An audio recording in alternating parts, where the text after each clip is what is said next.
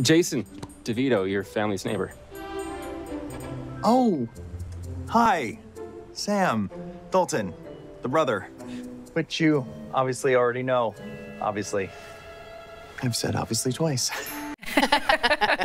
so cute. Welcome back. That was Jonathan Bennett, who is one of our faves in his new Christmas movie, The Holiday Sitter. He's here to get us into the holiday spirit and just in good spirits all around. Please welcome back to the show, Jonathan Bennett. Yeah. Hello, everybody. Hey, JB, how you doing, boo boo? hey, I miss everybody. It's so good to see your faces. We miss oh, you. it's so good to see you too. All right, let's get to uh, this movie because we want to know how did your experience with kids on the set of a movie you did a few years ago um, inspire the holiday sitter? Oh, okay. We want to talk about that. Let's talk about it. So, um, I did a Hallmark movie years ago called Christmas Made to Order, and we were actually shooting in a house and the family that owned the house we were filming in had four kids, and they would bring them to set every day. And I would just start entertaining them and like juggling. I basically became like a birthday party clown for these kids. And the mom leaned over to me and she's like, You need to do a movie where you play like a manny. Like you're not a nanny, you're a manny, and you have to take care of the kids. And that sparked the idea. And then it just kind of transformed from there. Where one of my favorite movies growing up was Uncle Buck. Yes. So I was like, what if Uncle Buck was gay?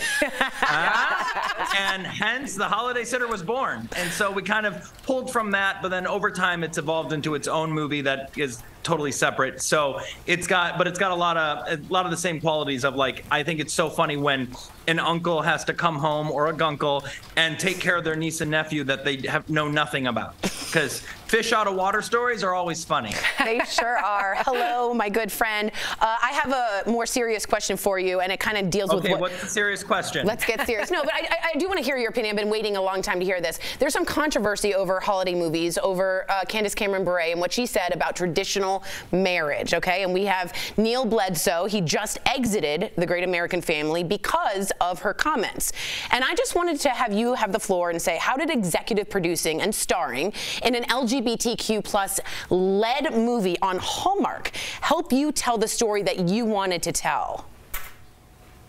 Well, I think, look, I can't, you know, I don't know what other networks are doing or what all of their viewer are going to see, but I know like what the viewers at Hallmark Channel are going to see is a story and a network that's filled with inclusivity Yeah. and filled with love and filled with heart and filled with family, whether that family is biological or chosen.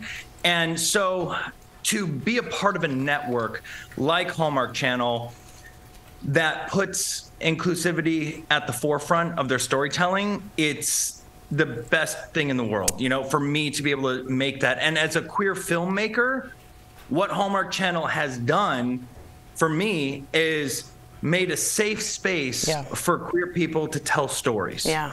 And if you're an artist, there is no bigger blessing than to have a safe space to do your art. I'm so And happy for you, Jonathan. It's just, it's like I, I literally can't say enough about Hallmark Channel and how they've been so supportive of this journey and like, hey, I want to tell this story. And from the get go, they've just been like, yes, yes, absolutely, let's do it. And I'm like, hey, can we have like a really good, I don't want to spoil it, but you know how the Hallmark movies end sometimes, sometimes. you know, with a very passionate moment at the end. yes, and I said, hey, can we do like I want to go for it and this, and they're like, absolutely, you have Wow. to part of the story. So it's um, it's it was important to us when making this movie to just tell an authentic story of what a person that is gay in 2022 is dealing with Yeah. and like what a real story of like finding love to them looks like Yeah. and i think when you base a story in authenticity and truth you get the heart you get the humor you get all those things but we never set out to make a gay Hallmark Right, movie or right. a gay Christmas It's a love movie. film. It's just a love movie- film. Yeah, this movie's not made for a queer audience or an LGBTQ plus audience. It's made for everybody, Mm-hmm. and everyone will be able to relate to the story because every because because Christmas is for everybody. Yes. Hallmark Channel's for everybody. The Holiday Sitters for everybody. So I feel like when people watch it, there's so many things in these characters that they're going to be able to identify with.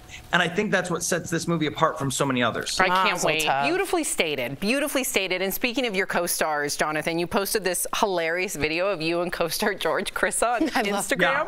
What is going on here?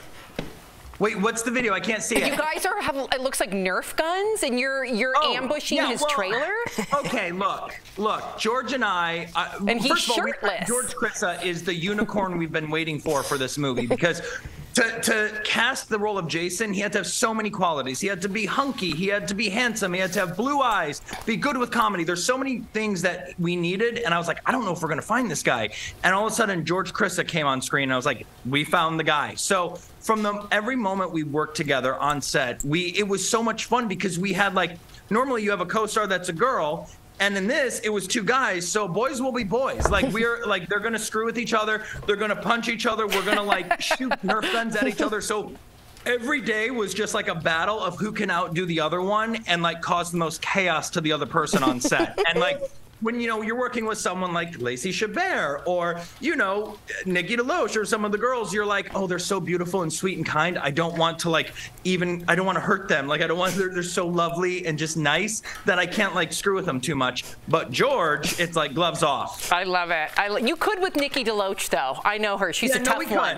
could. You're, she's But a they're tough just one. so nice I know, but don't like, I- I underestimate. can't. don't underestimate her, Jonathan. I know. We we love you. You got to get back in the studio. Please. I'm going to put I some will.